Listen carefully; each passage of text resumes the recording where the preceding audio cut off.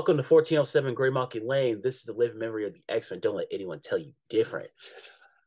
X Men 20, written by Gary Duggan, with I'm trying to, I never get the artist right.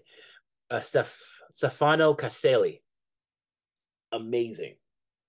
They do such a good. I I really like what they're doing. Uh so this is the X Men's uh take on uh the, what's going on with the Brood. The Brood have are attacking and they're attacking everybody. So we get okay, but before that, before that, we get Forge. Forge, he's with M, Prodigy, and Sage. And uh he's like, hey, this is a this is a crazy thing. I da, da, da, da, all the side stuff. And Prodigy and Sage, like, he doesn't even listen to us. He's the smartest idiot in the universe.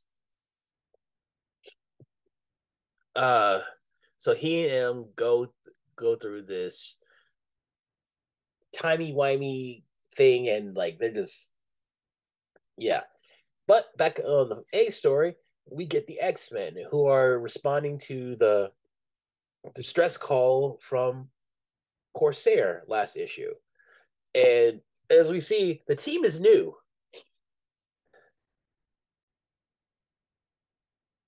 The team has changed ever since uh dark web. So uh, as you can see, it's Firestar, Iceman, Phoenix, Cyclops, Synch, um, Wolverine, or as we're calling her now, Talon, with Magik, along with Forge, respectively. He's just not there. So uh they're going through they're doing their own thing. And I think this is really cool. Like this whole exchange between Iceman and Firestar, Iceman's not so afraid anymore. He's like, ever since Arakko, I've shed a lot of my old fears. I ain't scared nothing, but I'm always gonna be afraid. I'm always gonna fear and hate the Brood because there's no stopping them, and I understand that. Uh, and um, Firestar, she's going like it's nice to be able to uh cut loose and she's ne- and she kind of she kind of implies she's never been able to do that with the x-men oh no wait, oh and do it with the avengers i'm sorry. So this little exchange is really nice. I i want to see more of this. I really i would like you know because they've known each other for a while. Uh inside Jean, uh, Phoenix and Magik are trying to figure out what happened. Uh, what happened to Broo because the Brood attacking should not be going on because Broo is an ally of Krakoa. So, and nobody's seen Broo. so, Jean, she hooks, she connects with Emma, Kwannon, uh, and the Cuckoos. It it would be no wait. Rachel and uh, Betsy are still in Otherworld, so they're out of contact. I wish they were well, like lesser known telepaths. Like I would like to see um uh Havok's friend ever, the telepath who was part of G Nation back in the day.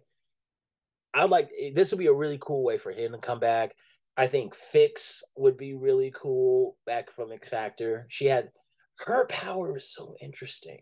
Like uh she had this little um thing right here that allowed her to form use her telepath tele, telepathy but making them look like fairies. And that is why I think that she is Pixie's daughter. Because their powers are very similar and old an ode uh, to her uh, mother. we get Talon, Cyclops, and Synch. They find Corsair, and he looks like he's about to pop. And Cyclops, he's low key freaking out like my dad. He's got it, like oh my god, my dad's gonna die. But when uh Talon and Synch, they're playing doctor and they're doing. They're performing an operation while all, Cyclops is watching their backs. It's kind of cool. Uh, you know, they eventually they make it out. It's fine. Everything's good. Um, I just realized I'm saying I'm a lot. We get back to Forge and um M. They they come out that portal and they see themselves dead, like they were shocked. And then uh, M points out, like, what's that? And that's where we end.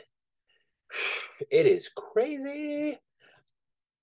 I'm giving this book a 4.25 out of 5 stars. I really like it. I really I like I like when there's these interplanetary yeah, it's so cool. Like, I, and we haven't seen the Brood in a while. I mean, last time we saw them was back before Brood took over, but like, ever since finding out that new information about them, that they the Brood were they weren't created they weren't they didn't were evolved they were created in a lab. Total aliens. What do you think? Like, comment, share, subscribe. Um, what do you think about this new team roster? It kind of flows better, like not as much uh tension between Cyclops and Havok, but I also want to get inside uh Laura's head a little bit.